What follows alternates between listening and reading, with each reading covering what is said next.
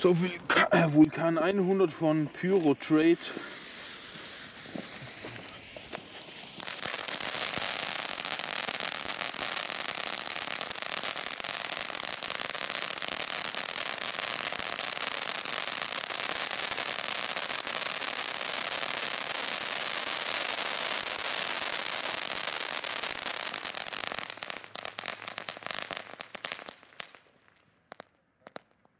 Ja, gute Lautstärke.